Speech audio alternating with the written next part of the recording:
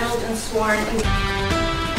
And we begin with the latest on the man accused of killing a University of Arizona professor. Good evening, everybody, and thanks for joining us. I'm Sean Mooney. And I'm Angelique Lizardi. Guilty on all counts. That was the verdict today in the trial for the man accused of shooting and killing U of A professor Dr. Thomas Meixner. News 4 Tucson's Megan Spector joins us live now outside the courthouse. She followed this case throughout the last two weeks.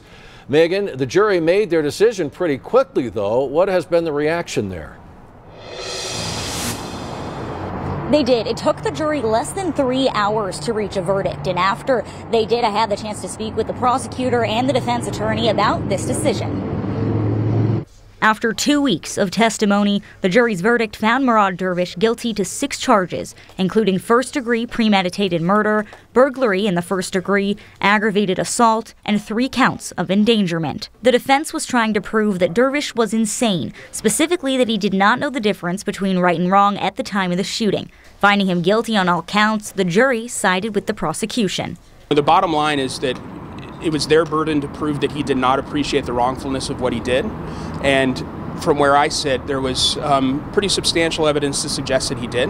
Um, and I think that the jury saw that, and I think that that informed their verdict. After the verdict was read, Dervish's defense attorneys kept their comments short. We all heard the verdict, and other than that, I can't really comment on that part of it. It was an emotional day in court. Family and friends of Dr. Thomas Meixner gathered outside the courtroom, wiping tears and giving hugs. I think they're relieved. Beyond that, I really would not like to say anything else. They're very relieved. They've been um, just to hell and back. I'm not sure if they're back yet, but um, they deserved what happened today. Um, Tom did not deserve what happened to him, but they deserve to have some small sense of justice delivered by these 12 jurors. Now, the judge has set a sentence date for June 24th, and the prosecutor says that based on the charges that Dervish was found guilty of, he's most likely facing life in prison. Live from downtown, Megan Spector, News 4, Tucson. Megan, thank you. Now developing on the east side, one person is recovering today after a shooting happened overnight.